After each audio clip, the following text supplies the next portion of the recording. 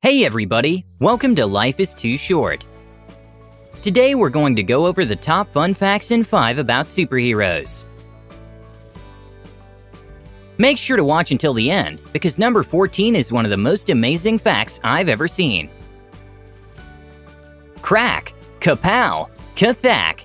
Superheroes are coming at you faster than a speeding bullet, be it in print, TV, or movies. Over the decades, we've seen some pretty amazing storylines, while others have made us go, oh, come on, seriously?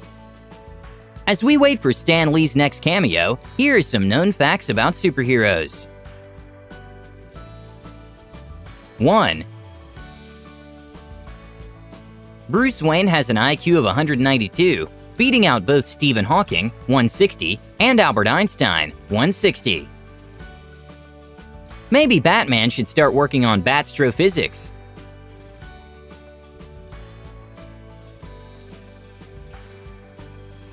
Two.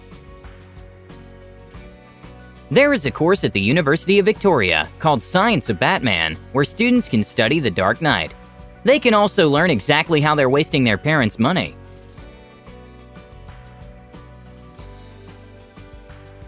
3. One of Gambit's superpowers is possessing a hypnotic charm that he uses to influence pretty much anybody he wants. I use my charm to clear a room. 4. One of Thor's powers is All-Tongue, the ability to speak and have anybody understand him.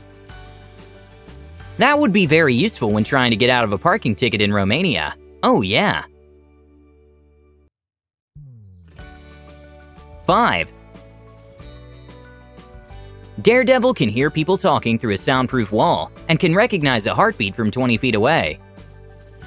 He can also tell if someone is lying based on changes to their heart. I'm sure a drum session might mess things up.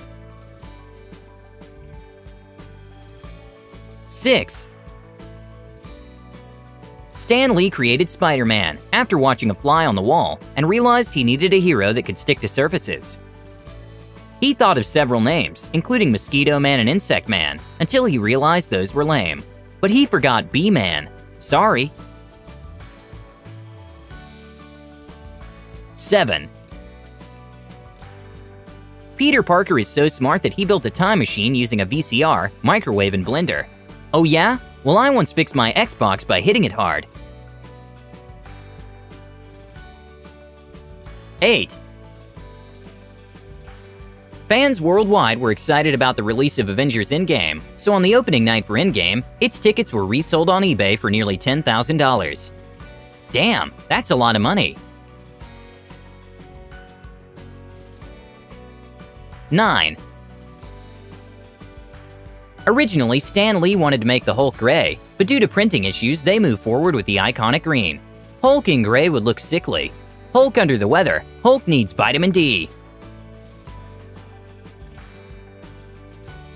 10.